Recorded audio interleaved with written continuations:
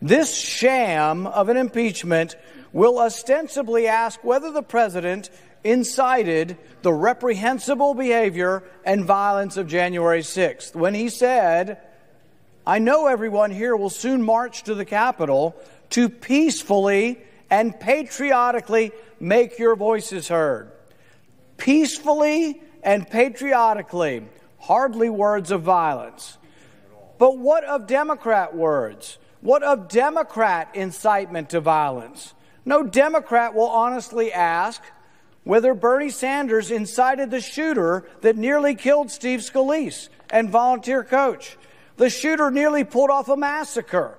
I was there because he fervently believed the false and inflammatory rhetoric spewed by Bernie and other Democrats, such as the Republican health care plan for the uninsured is that you die.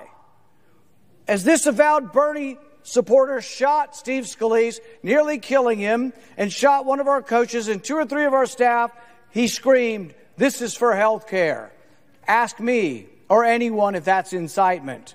No Democrat will ask whether Cory Booker incited violence when he called for his supporters to get, get up in their face of Congress people. A very visual and specific incitement.